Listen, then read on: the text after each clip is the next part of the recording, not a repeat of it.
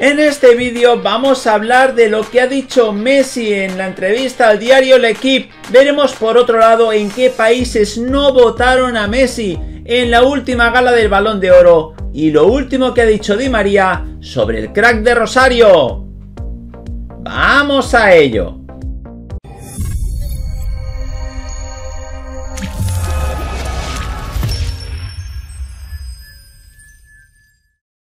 Hola de nuevo gente, ¿cómo estáis? Bienvenidos a un nuevo vídeo de Objetivo Gol. Vamos con la última hora de Leo Messi y vamos a hacerlo con varias noticias. Por tanto, te animamos a que te quedes hasta el final del vídeo y a que nos dejes un buen like. Vamos sin más dilación analizar la primera noticia vamos a hablar de lo que ha dicho Messi en el diario El Equipo en estas últimas horas. Durante años, Messi y Cristiano han competido por el trono del fútbol mundial. Goles, trofeos, donde estuviera el 10 aparecía también el 7 en esa lucha continua por ser el mejor.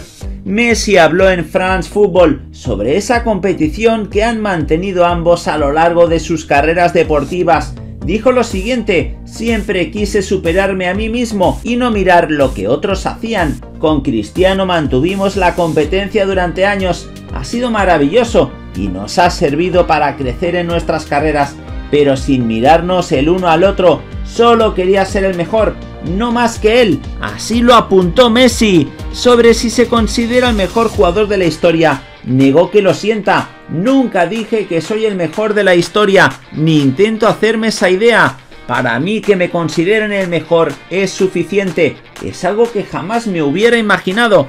No me interesa. No cambia nada serlo o no. Y nunca lo busqué. Tampoco quiere Messi que se le compare con Maradona. Dijo lo siguiente. Nunca me ha gustado ni presté atención a esos comentarios. Algunas críticas me molestaron en el pasado, Pasé malos momentos con Argentina, pero no fue por eso. Tuvo palabras bonitas también para su compañero Neymar, quien le ofreció el 10 cuando fichó por el PSG, pero Messi lo rechazó. Ese número era suyo. Yo llegué a un nuevo equipo para ayudar. Fue un gesto extraordinario por su parte. Me lo esperaba, porque conozco a Neymar. Pasamos tiempo en Barcelona y somos amigos. Me parecía más justo que se quedara con el 10 yo cogí el 30, que también me gustaba. Así lo comentó Messi que lamentó no haber celebrado la Champions que conquistó el Barça en 2006 por su enfado, ya que no jugó ese partido. Me arrepiento de aquello. En ese momento estaba pensando en que no había jugado. Estaba decepcionado, aunque pude jugar hasta octavos.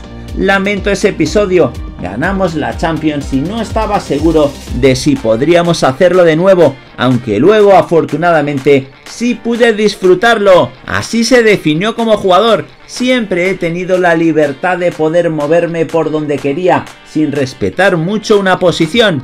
No sé si he sentido la presión en los años que he jugado, solo he tenido la obligación de obtener resultados y ser preciso. Me siento bien e intento disfrutar sobre el césped en cuanto a la persona que hay detrás del Messi futbolista, admitió que en ocasiones le gustaría no ser conocido. He sido Messi durante 34 años. Estoy acostumbrado a todo lo que hay a mi alrededor, aunque a veces querría pasar desapercibido.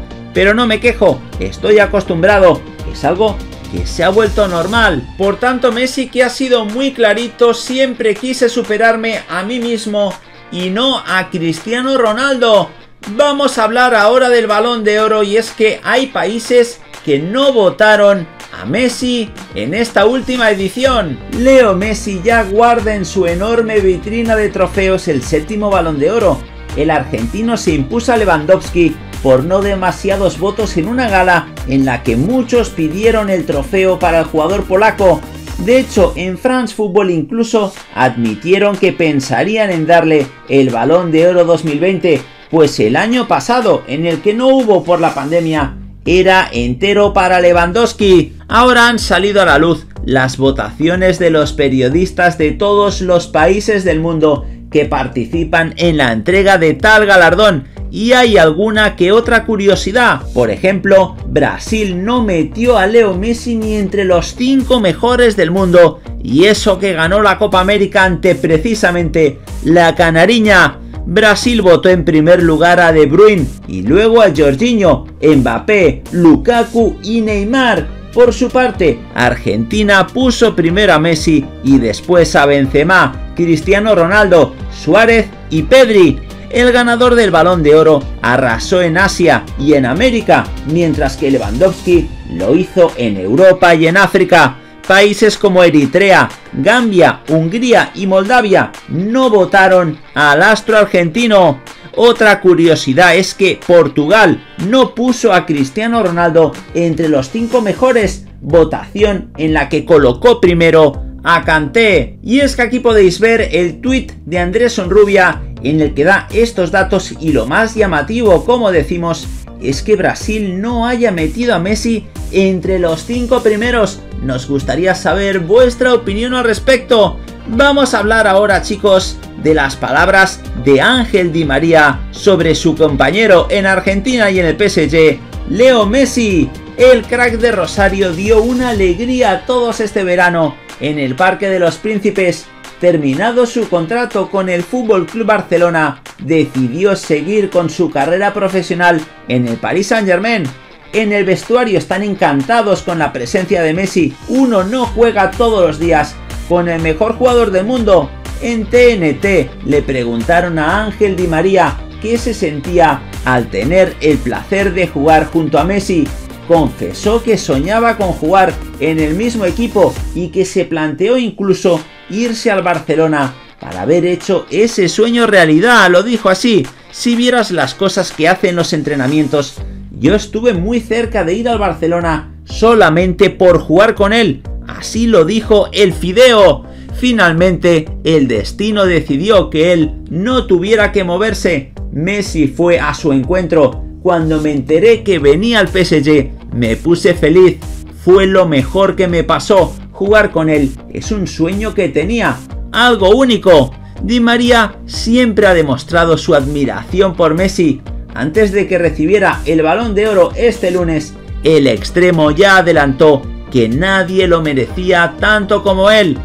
Por tanto, el sueño de Di María que se hizo realidad, pero en ese momento no estuvo nada claro el destino de Messi que pudo ir al Inter de Milán. La marcha de Leo del Barça fue toda una sorpresa, también para el Inter de Milán, uno de los clubes que siempre ha ido detrás del argentino.